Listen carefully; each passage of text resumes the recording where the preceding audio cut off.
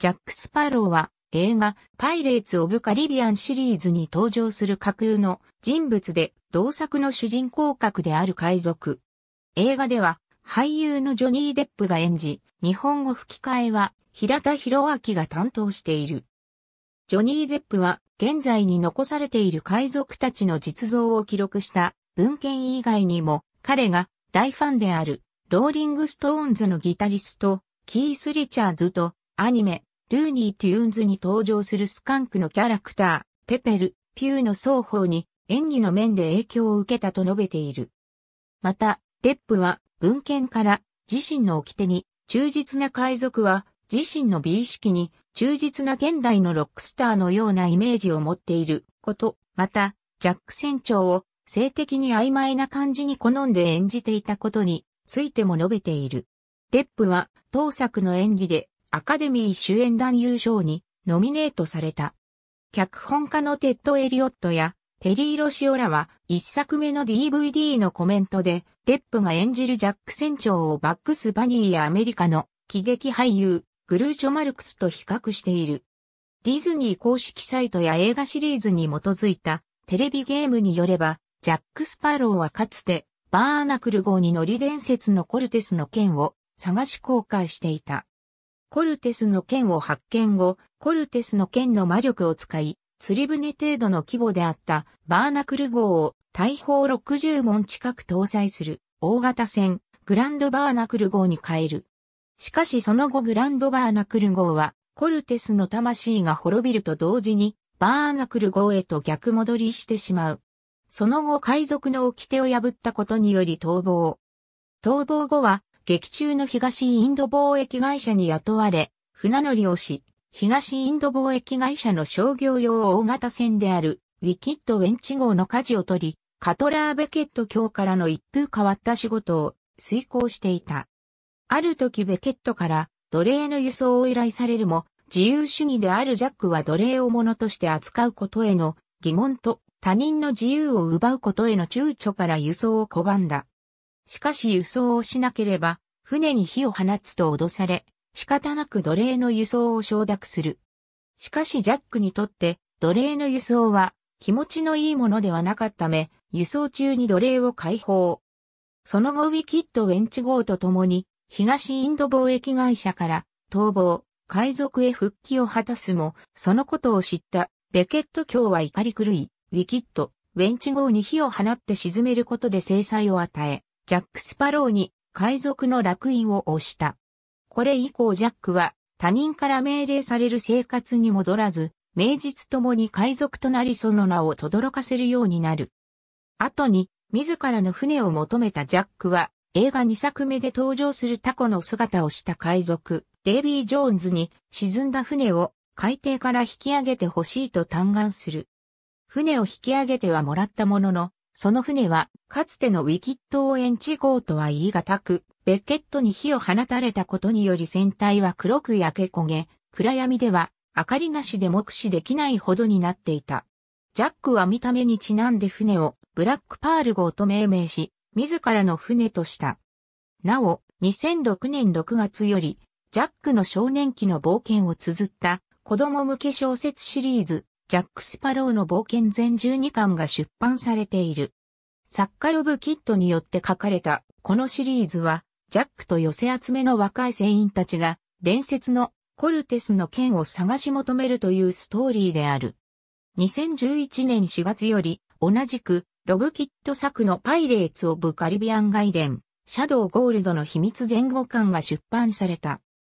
このシリーズは、ブラックパール号の船長となったジャックが呪いをかけられてしまい、それを解くのに七つの海を渡り、伝説の海賊長たちの元を訪れるというストーリーで、ジャック・スパローの冒険の続編となっている。2011年11月、初の大人向け番外編小説、パイレーツ・オブ・カリビアン自由の大小上下巻が竹書房より出版された。この小説は上記2シリーズとは異なり、著者は AC クリスピンである。ジャックが20歳から25歳の時のストーリーで、彼が海賊から東インド貿易会社の船乗りとなり、再び海賊に戻ってブラックパール号を手に入れるまでの行きさつや、カトラー・ベケットとの確執、そして、ジャックの恋愛話などが盛り込まれている。総ページ数1000ページを超える長編小説であり、恋愛描写もかなり踏み込んだ内容になっているなど、子供向け小説とは作風の全く違う大人の読者を意識したストーリーとなっている。部下の裏切り映画第一作である。映画の物語の10年前、ジャックはブラックパール号を指揮して隠された伝説のコルテスの金貨を探索していた時に宝を山分けしようと当時一等航海士だったヘクター・バルボッサに提案され、ジャックはそれを快諾。バルボッサに宝島までの航路を教えてしまう。しかしこれは宝を独り占めしようとするヘクター・バルボッサの作戦であり、バルボッサ率いる船員たちの反逆により、自決用に弾丸が一発だけ装填されたピストルと共に孤島に一人だけ放置されてしまう。しかし、3日後、その孤島に種類を蓄えていた、種類密輸入船の一団がやってきたとき、物々交換による取引で孤島から脱出させてもらう。以来、屈辱を味わわせたバルボッサへの復讐に燃えながら、海賊として再起することになったのである。そして、異種返しのために、バルボッサを殺すときに使うのは、自身に残した一発だけ弾丸が装填されたピストルと心に決めて10年もの間携帯しており、ナス走行では銃を使うことなく、略奪に成功している。ウィルトの開港ジャックは、現在のジャマイカにあり17世紀商業船の中心港であったポートロイヤル港に到着するも、総督の娘エリザベス・スワンが溺れているのを救った。後、海賊容疑で逮捕されてしまった。交流されている間、スパローの牢屋にウィリアム・ターナーが訪れ、バルボッサ率いる海賊にさらわれたエリザベスを探し出すために、ジャックの助けを求めた。エリザベスは、ポートロイヤル港で、バルボッサ一団に襲われた際、自身をエリザベス・ターナーと名乗ったため、バルボッサは彼女こそ、ビル・ターナーの血を引く、生き別れの子供だと勘違いしており、呪いを解く目的で、彼にさらわれていたのである。ジャックはここで、ウィルが以前の船員仲間であった靴紐のビル、またはブーツストラップの異名を持つビル・ターナーと全く同じ名前であることに気づき、話の中でウィルがビルの実の息子であると悟る。ビルは暴動でジャック追放に同調せず、その後、バルボッサとの対立から靴紐に砲弾をくくりつけられて海の底に落とされてしまった男だった。ブラックパール号の船員を襲ったアステカの呪いの伝説に詳しいスパローは、呪いを解くには、アステカの金貨を宝箱から入手したもの、またはその親族の血で金貨そのものと共に、あがなわれなくてはならないこと、つまり、金貨を持ち出した船員の一人であるビルの血を引くものが必要であると知っていた。そこでジャックは、ブラックパール号を奪回するためにウィルを使えると考え、エリザベス救出に力を貸してやると持ちかける。ウィルは海賊をひどく嫌っていたにもかかわらず、スパローを牢獄から出すのを助け、宮廷海軍船であるインターセプター号を奪うことに同意した。その後二人はトルトゥーガへ行って、船とその船員となる人物を募り、イスラでムエルタへ向かって、ブラックパール号を捕捉。ウィルの愛するエリザベス・スワンを救い出す。バルボッサとの決着それからジャックは、ブラックパール号に追われることとなる。激しい海戦の末、インターセプター号は沈み、船員は捕虜としてブラックパール号に捕らえられてしまう。そして、ジャックとエリザベスは、ジャックが以前置き去りにされた島に二人置き去りにされることになった。エリザベスは長らく捨て去られていた備蓄品のラム酒を使用して火を起こし始め、海軍船舶に発見される。彼らはジェームズ・ノリントン提督に救出され、ウィルを助けるため、エリザベスはノリントンにイスラでムエルタを攻撃するよう説得した。到着した島では、ジャックがホラー穴にこっそり入り、バルボッサに海軍が外で待ち伏せしていると知らせて、ウィルが犠牲にされるのを防いだ。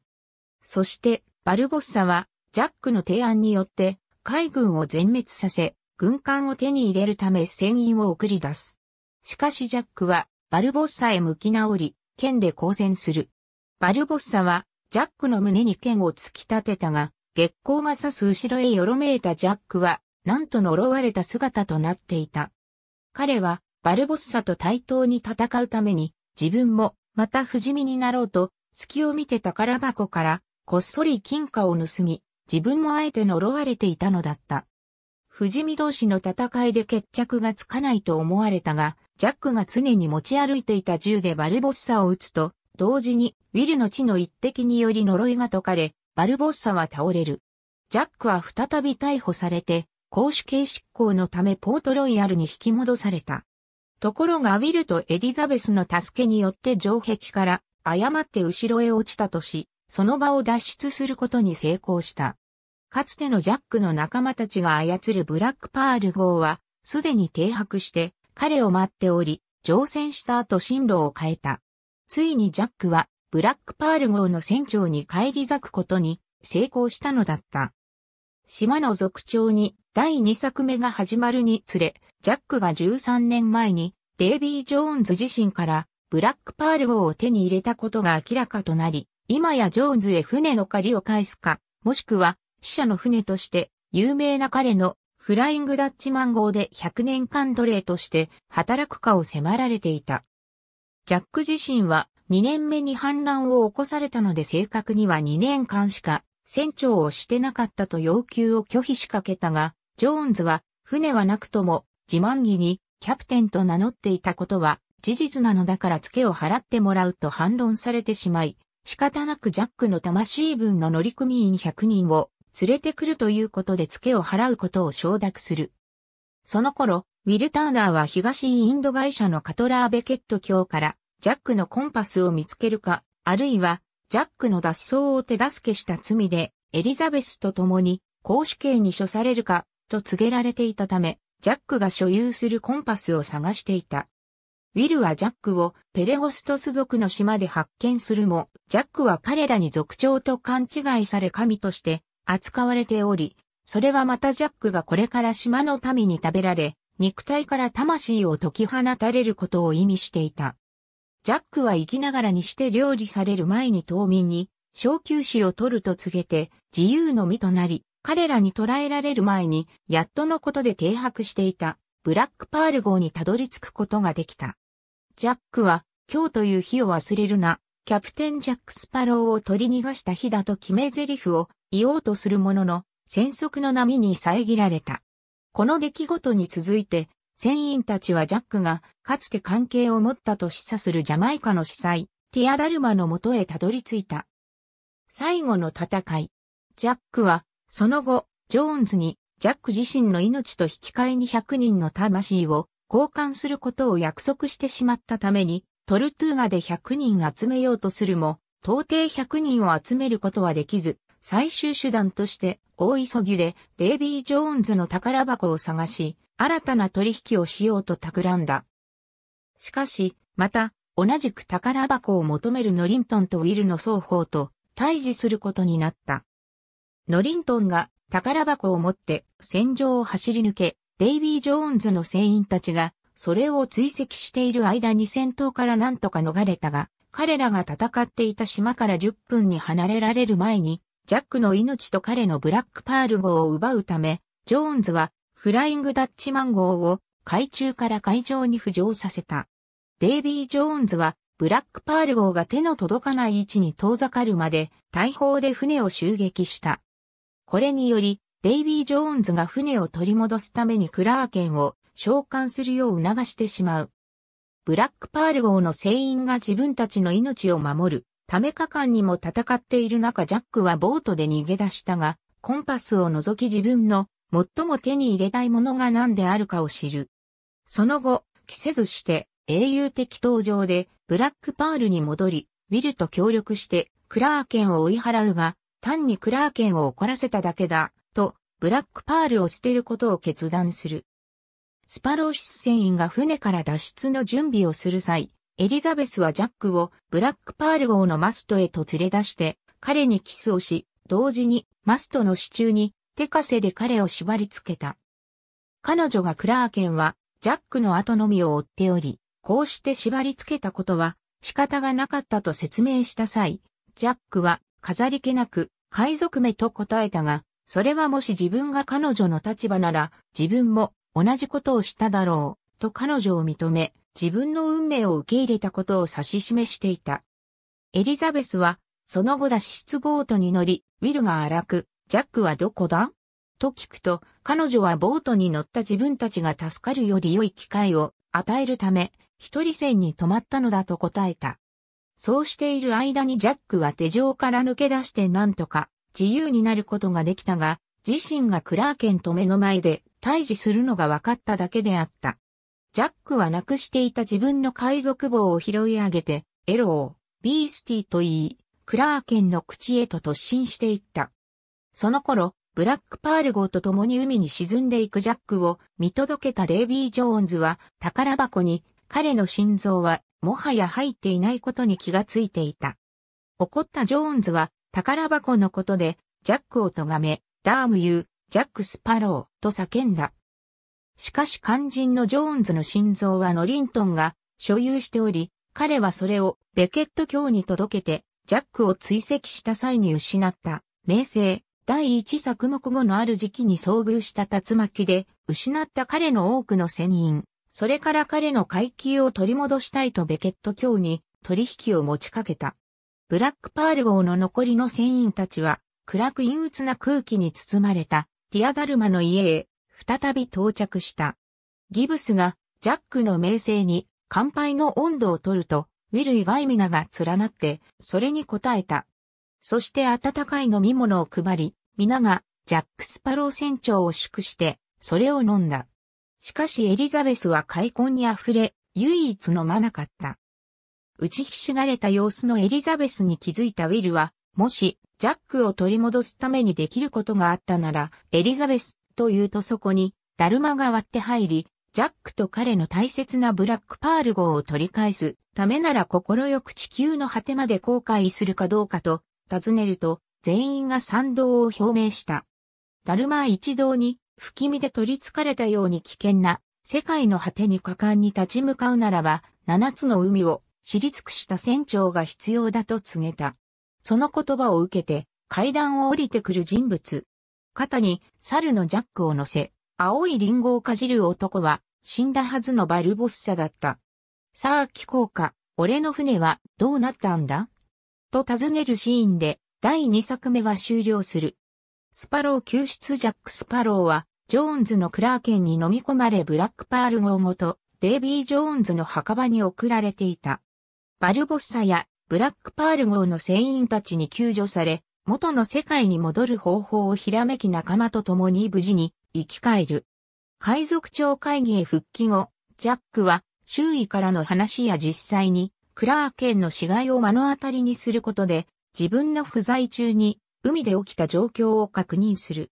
ベッケットがジョーンズの心臓の入った宝箱と鍵を手に入れ、正解権を握りつつあることを。彼はベケット本人と交渉を行い、東インド貿易会社へ対抗する海賊の最後の牙城であり、近々海賊庁会議が招集されるナンパ船入りへの場所を案内する見返りとして、ジョーンズとの契約を無効にするよう要求してその場を去る。評議会の王、誕生ジャックたち一行はナンパ船入り江での海賊長9人を招集し、会議を開いた。エリザベスの作戦は相手と戦うべきだと主張したが、このナンパ船入り江は要塞だよ。武器でも何でも揃っている。と言われてしまうが、ジャックがここに籠城したとしても、1ヶ月後に生き残っているのは、ここにいる半分程度だろう。ここは戦うべきだ。とエリザベスに賛同した。しかしバルボッサは、戦闘行為は海賊王の宣言によってするもののはず。と主張。ジャックは出任せだと言ったが、ここで、掟の番人が海賊の掟の書かれた本を取り出す。そこには、バルボッサの言った通りのことが書かれていた。それによって、海賊王を決める投票が始まった。全員自分に投票するのが暗黙の了解となっていたが、ジャックはなんとエリザベスに投票した。周りが反対する中、ジャックは海賊の掟を破るのか、と一別。全員黙りこくり、晴れて海賊王となったエリザベスの指示を待つ。その指示とは、各自すべての船を準備せよ。明け方戦闘を始める。出会った海賊の命運をかけた戦いすべての船が出揃い、海賊たちが雄たけびを上げる中、敵が見えた。しかし、敵船団は圧倒的数である。海賊たちの勢いが急になくなり、全員がジャックを見る。するとジャックは、パーレー？と宣言し、小さな孤島に、海賊側から、ジャック、バルボッサ、エリザベスが登場。そして、相手側からは、カトラー、ベッケット、そしてそれに使える、海の悪魔、デイビー・ジョーンズ、そして相手に情報を流し、一時的に裏切っていたウィル・ターナーが登場した。詳しい内容は、ブクがウィルを返してもらう代わりにジャックを差し出したのであった。そして、パール号に戻ったエリザベス。最後の頼みの綱であった海の女神カリプソにも見放された。もう逃げようという空気感の中、バルボッサが親父さんのために命を懸けるのはごめんだ。と一言。するとエリザベスは、そうね。なら何に命を懸ける、と海賊たちを伝え勇気づけ、言った。旗を掲げろ。海賊たちの闘志は再び燃え上がり、ドクロの旗を掲げた。海の真ん中に、大渦が現れ豪雨の中、前進するブラックパール号とそれに対するフライングダッチマン号の海戦が始まった。終わりを迎えた悪魔懸命に戦ったジャックたちだったが、やはりデイビー・ジョーンズの不死身を打ち破ることはできず、ウィルが刺されてしまう。彼を救おうと飛びかかった靴紐のビルが殺されるという時、ジョーンズの心臓に刃が刺さった。ジョーンズは最後、カリプソと一言残し、渦に飲み込まれた。そして、ジャックとエリザベスは、フライングダッチマン号から脱出し、生死の境をさまよっていた、ウィルの心臓をえぐり出し、ウィルが、フライングダッチマン号の船長として、役目を果たすこととなった。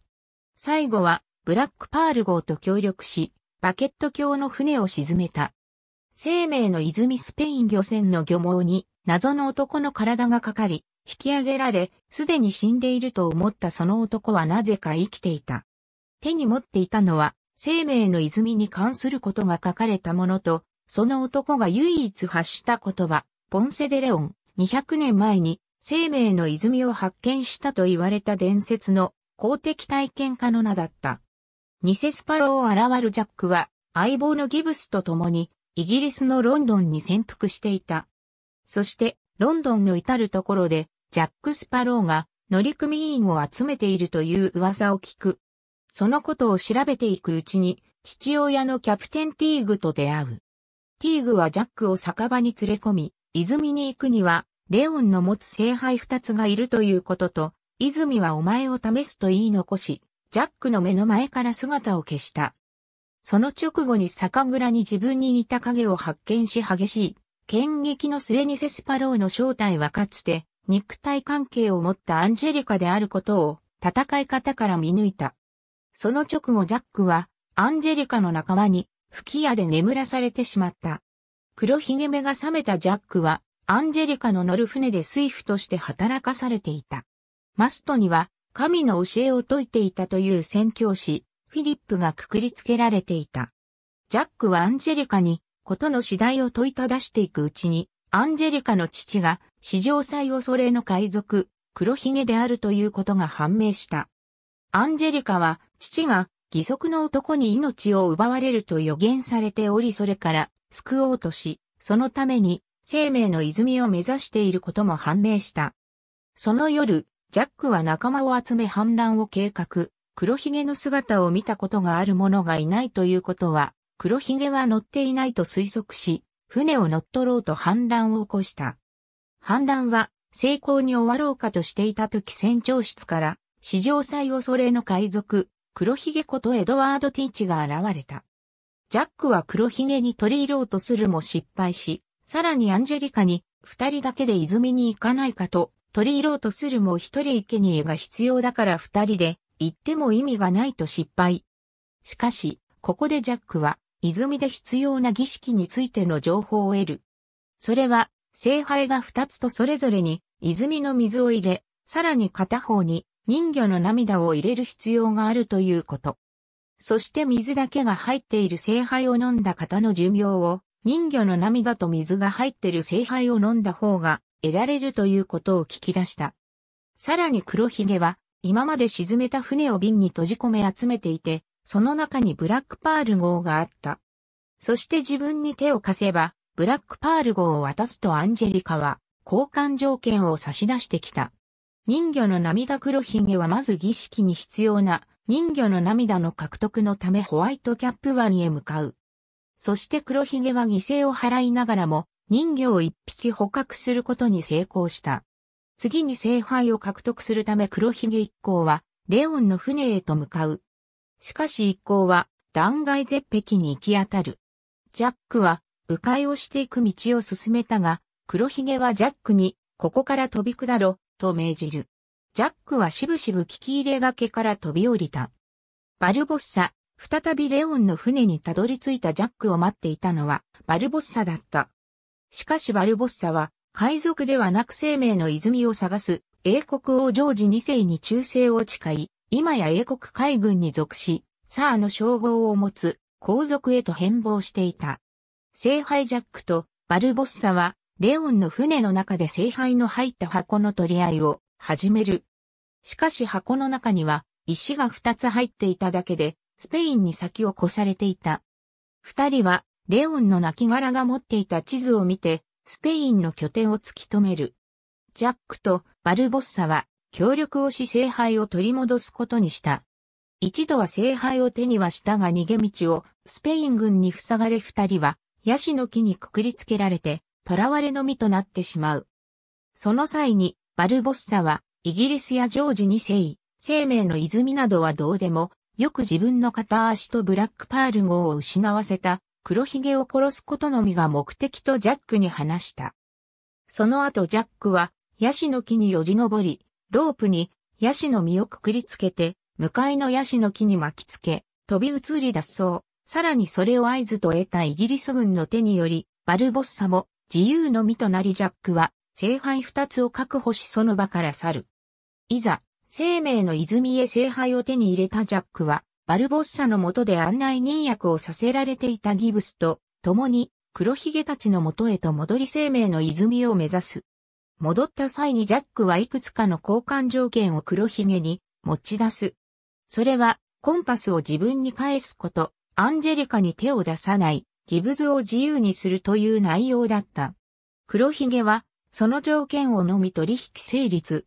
再び彼らと泉探索に加わる。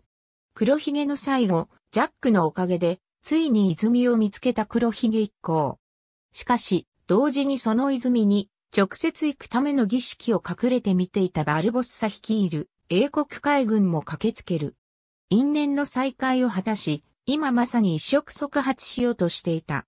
ジャックはその時なぜか、二人以外の人間は感染しよう。とふざけた提案をするが、もちろん拒否される形で開戦。どさくさに紛れて、ジャックは永遠の生命を手に入れようと聖杯と人魚の涙を奪おうとするが、父をバルボッサから救いたいアンジェリカや手下のスクラムと交戦。しかしそんな中、また同じくして泉探索をしていたスペイン海軍が乱入。二つの勢力は戦いを中断し、あっけに取られた。スペイン海軍の長は、聖杯をジャックたちから強奪。カトリックの教えの名目のもと、踏み潰して放棄。そのまま泉の破壊活動を開始。怒りに震えた黒ひげは、スペイン海軍と交戦しようとするも、隙を突かれて背後から、バルボッサに毒づき剣で手の甲と腹部を傷つけられ、瀕死状態に。アンジェリカも父に刺された剣を引き抜こうとするが、手を滑らせて、自らの手も切り傷。彼女に除名嘆願をされたジャックは、急いで聖杯を探す。バルボッサは、黒ひげの剣と乗組員を連れて、スペイン海軍も泉の破壊を確認した後静かに去っていった。その後、人魚、シレーナに聖杯を渡されたジャックはわずかに滴り落ちる泉の雫を聖杯に注ぎ、片方に涙を入れた。そして毒が回って、いよいよ危険な状態になった二人を前にして、黒ひげに娘を救うよう言うが、彼はジャックの静止を無視する形で涙が入っている型を飲んだ。しかし、それはジャックの策略で黒ひげが飲んだのは犠牲の水だった。黒ひげは間もなくして生命の泉に飲み込まれ死亡。アンジェリカは永遠の命を手にし助かった。実の娘を平気で犠牲にする黒ひげが許せず、取った行動だった。新たなる冒険へ一方バルボッサは、 Revenge is mine という言葉のもと、名実ともに英国を裏切り、黒ひげに代わってアン女王の復讐号の船長になり、海賊家業に復帰。そのままトルトゥーガへと陽気に進路を取った。生命の泉を後にし、再び海へ出たジャックとアンジェリカ。ジャックは冒険に鬱陶しいアンジェリカをとある無人島にピストル一丁を残して置き去り。ギブズとある島で合流。ギブズはその時ニューギニアで使った手とジャックのコンパスを使って黒ひげの船からブラックパールとその他諸々の船を奪ったことをジャックに見せびらかした。そしてギブズと仲良く浜辺を歩きながら父親のティーグから泉はお前の力を試す。と序盤に言われた教訓の言葉をギブズに語りかけながら新たな冒険へ歩いていった。船長という階級なしで単に名前だけを呼ばれることを嫌い、名前だけを呼ばれるといちいち、キャプテンだ。キャプテンジャック・スパローと呼べと訂正を求める発言を繰り返すことに象徴されているように、自分こそがブラックパール号の船長だという強い気持ちを持っている。第一作目における彼の大部分の行動はほとんど、この目的のみにつき、逆に船長になるためにはどんなことでもする。ジャックは一度船長となったバルボッサには、自身の従属と自分の海賊としての稼ぎの25%を還元することを申し出ており、それはジャックがバルボッサに彼の側に従うものと確信させるための単なる策略に過ぎないはずであったが、それが結果としてジャックに船の指揮権を奪回させた。さらにジャックは自由を好み、エリザベスにも船とは本当のブラックパール号とは自由なのだと説明している。また彼は第2作目のデッドマンズチェストではジャックが文字通りブラックパール号に自身の魂を売り正しく船の船長であるのだと確証された。クラーケンに襲われ船員たちが船から離れざるを得なくなった時もまだ、ジャックは、ブラックパール号は俺にとってたった一つの船だとギブスに告げ、その後も船に残り、最愛の船を置き去りにすることを意図していないように見えたが、これはクラーケンがボートではなくジャックを追っていることを彼自身知っており、エリザベスもクラーケンが何の後を追っているのか確かめていた事実があったためと思われる。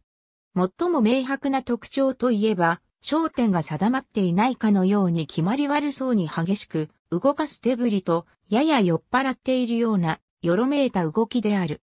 彼は実際、島からの脱出を助けてもらった種類密輸業者と浮かれ騒いで過ごしていたこともあったが、ウィルは劇中、スパローのふらつきはその前に孤島に置き去りにされて、高温の気候と熱射に苦しんだ結果ではないのか、と推測するシーンがある。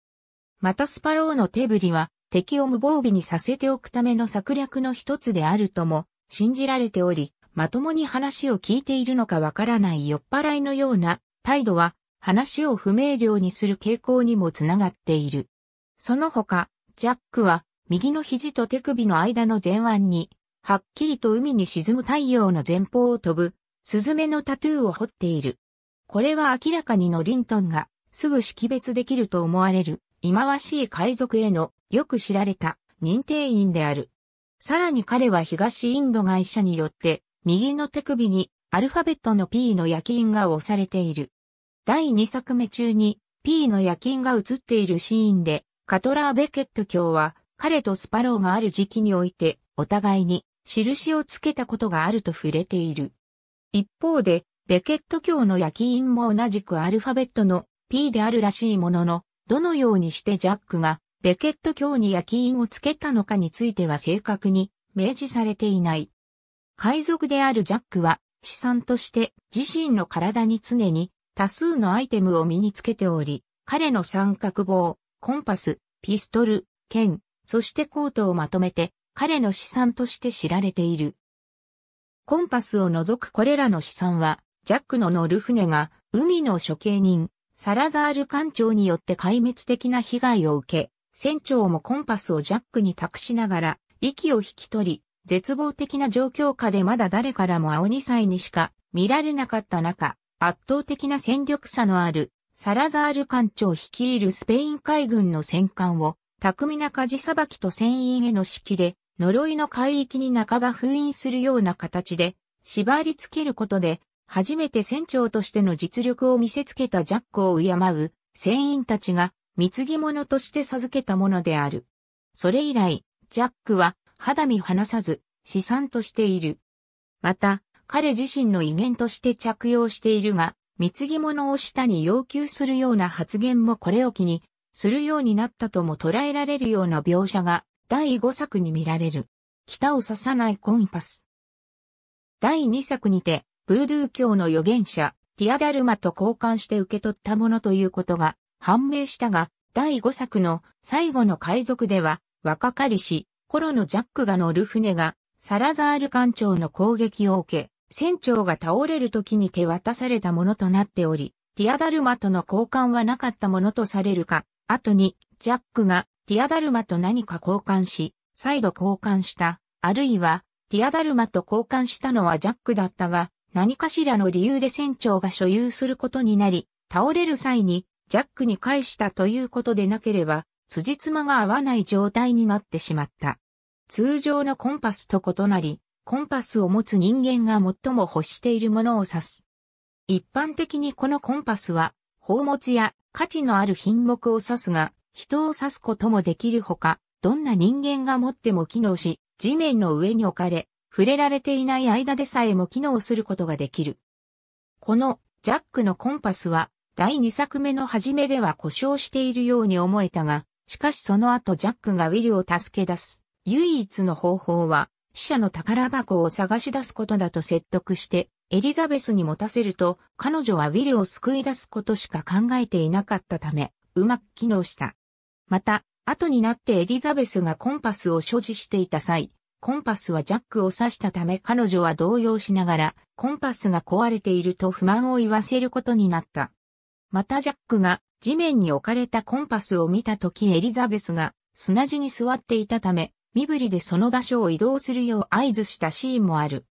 また、第5作において、コンパスには石のようなものがあることがほのめかされており、コンパスを意図的に裏切るような形で手放すと最悪が訪れるような設定も加わっている。5作目において、コンパスをボトルとの物々交換で裏切ったために、呪いの海域の呪縛からサラザールたちが解放され、亡霊として海賊の全滅とジャックへの復讐に船を進める。なお、コンパスを裏切ったことで、サラザールたちの呪縛が解けた理由に関しては、バルボッサが海賊にとっての最大の恐怖はサラザールだと語っている。弾が一発だけ入ったピストル。ジャックがバルボッサに裏切られ、島に置き去りにされた際に施されたものである。本来は自決用に用意されたものだが、ジャックはこのピストルでバルボッサに復讐することを決意し、島を脱出した後10年間使わずに持っていた。呪われた海賊たちにて、バルボッサに発砲、心臓に命中し、その瞬間に、ウィルが金貨の呪いを解いたために、バルボッサは死亡、悲願は達成された。ジャックの帽子。ジャックのお気に入りで常に被っており、ジャックの資産について話し合うとき彼は必ず帽子について特別な言及をする。二作目では冒頭部にてデイビー・ジョーンズの脅威から逃れる際、ジャック、バルボッサの猿に落とされてまうが、必死に回収しようとする船員たちに、そのままにしておけと命じて、彼らを驚かせた。この帽子は、その直後に、クラーケンによって食べられてしまう。しかしジャックはやはりこの帽子に未練があったようで、同作品中で映画全体を費やして、ちょうどいい代用の帽子を探しており、特にパブでの乱闘のシーンでは、戦闘に没頭していた数多くの人の三角棒を盗んでは試着していた。結局彼は2作目の最後に向かう場面で自分が飲み込まれる前にクラーケンに吐き出された元の帽子を再び取り戻している。ジャックが9人の伝説の海賊の一人である証。ジャックのそれはモロッコビーズと古代タイの金貨で、彼はそれを装飾品として頭からぶら下げていた。カリプソを目覚めさせる儀式にて消失。海賊にはまれながら、スパローは利他的な成功があることで知られる。彼はよく危険を冒してまで他人を救い出すことがあり、特にウィルとエリザベスには著しくよく見られる。第一作目の脚本では、ジャックの優しさは甘さに通じ、彼の船員が反乱を起こした理由の一つであると示唆している。ジャックが海軍船、インターセプター上で呪われたアステカの金貨の一つを非暴力的な方法で見つけ出そうと提案した際、バルボッサは今ならわかるだろう、ジャック。お前はそんな態度だからブラックパール号を失ったのさ。人は死んだようになっている時を伺いやすいものだと言っていた。さらにスパローは海賊の掟を重んじる高潔な男として演じられている。彼はまた世の中には良い海賊がいるとも信じ、それがビル・ターナーを靴紐のと評価することにつながっている。ジャックは自分が女という生き物の直感を持つ女好きの男であると思い込んでいる。しかし、彼は見たところでは女性と長期間の関係に傾倒できないようである。ジャックは女性を虜にする達人として演じられているが、以前の恋人が彼と彼を求める女性に平手打ちで叩く傾向があったようで、口説き落とす女性は彼にとって不快な記憶であるようだ。スパローが最もよく使用するフレーズには、サビーやバガーがある。また彼は好都合な瞬間を待つことにもいくつか言及している。またスパローが最も引き合いに出すセリフは、ホワイズ・ザ・ラム・モーンである。またジャックは見たところ、新生公衆症に悩まされているようである。彼がノリントンにやや近づいた時はその悪臭で一歩後ろに下がらせ、スワン総督には一作目の最後に、サルグツアで口を塞がれた。二作目のデッドマンズチェストの中で、ジャックがエリザベスにロマンチックに接近しようとした時、彼女はお互い違うタイプの人間であると、いろいろなことを指摘し、その中の一つは、体の衛生であった。一作目のパイレーツシリーズの映画 DVD に収録された脚本家のコメントによれば、スパローはターナー、バルボッサ、ノリントンと比べ最も才能のない剣士であり、難解な立場を切り抜けるのに、剣術よりも頭の回転に頼っているようである。前述したように、ジョニー・デップは海賊を現代のロックスターのようだと述べている。これは、自らの美意識に忠実、という以外にもロックスターにまつわる話や伝説がツーレースター自身よりも大きいものであるからである。一作目でカットされたシーンの中に置き去りにされたことでエリザベスが最初に島から脱出した話がそれほど冒険的でないと知った後、彼の他の話で真実があるかどうか尋ねる場面があった。スパローは表面上その彼女の遠回しな質問を侮辱したようであったが、真実？と最初に答え、それから体中にある数多くの傷跡を晒した。これには東インド会社によって右手首につけられた P の焼き印、左前腕に沿ってできた原因不明の巨大な傷跡、そして右側の胸部に2つのマスケット銃の弾丸による外傷が含まれていた。それを見たエリザベスは目に見えて震え、一方のジャックは冷たく皮肉を込めて、真実なんか一つもないねと結んだ。スパローは侮辱する言葉として、ユーニックをよく用い、ウィル・ターナーとの争いの間にも、剣術の練習に長時間費やす傾向がある。ターナーは、ユーニックか、などと尋ねるシーンがある。第2作目中でも、原住民族の言葉を真似して、彼らに何か喋っているセリフの合間に、ウナッキースニップスニップと、ハサミのジェスチャーを交えながら言っている。以下は翻訳元である英語版の出典である。ありがとうございます。